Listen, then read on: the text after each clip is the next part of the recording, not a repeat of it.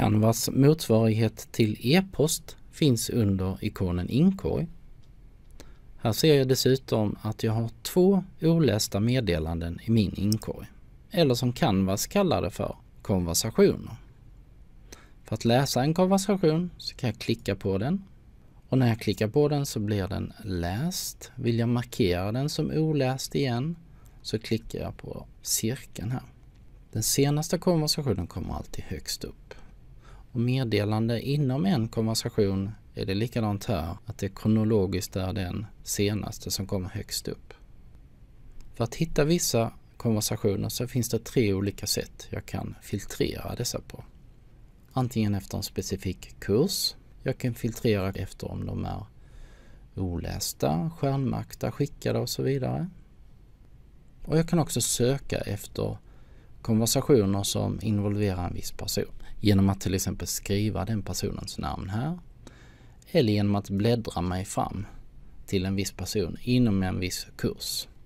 Jag kan behandla mina konversationer på olika sätt. Jag kan till exempel stjärnmärka dem. Jag kan markera flera stycken för att sedan antingen radera dessa eller stoppa in dem i ett arkiv. Arkivet är bra om du vill ta bort konversationer från inkorgen men du vill heller inte radera dem. Jag klickar arkiv här och trycker OK så kommer de in i arkivet. Och är det så att du vill se de här så kan du då filtrera efter arkiverad så kommer de fram igen. Och jag kan också filtrera efter de jag stjärnmärkte så kommer de fram. Om man vill starta en ny konversation så klickar man på den här. Och där måste jag välja en kurs. Och sen kan jag antingen skriva en persons namn som jag vill skicka till eller bläddra till den personen eller flera personer genom att klicka här. I det här fallet vill jag skicka till alla studenter i min kurs. Och sen så vill jag också skicka till min kollega i den här kursen. Här kan man skriva ett ämne.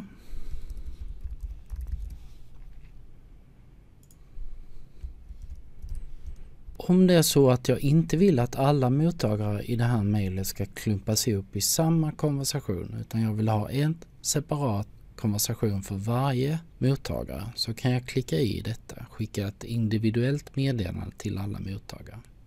Det vill jag inte i det här fallet. Här kan jag bifoga en bilaga och här kan jag då spela in ett ljud eller en videokommentar direkt i meddelandet. Jag väljer att skicka. Och då står det här meddelandet har skickats.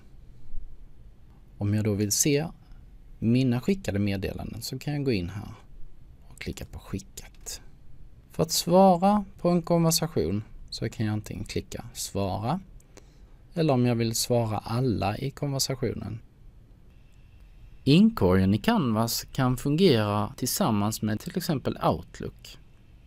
Det vill säga alla konversationer som du får i din inkorg kan automatiskt vidarebefordras till din e-postklient. Och där kan du svara på dem och så ser Canvas till att meddelanden går tillbaka till rätt person.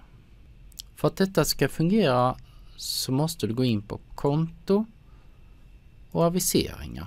Och lite längre ner på sidan inställningar för aviseringar så letar du upp konversationer och se till så att de första två är ibockade meddela omedelbart. Lycka till!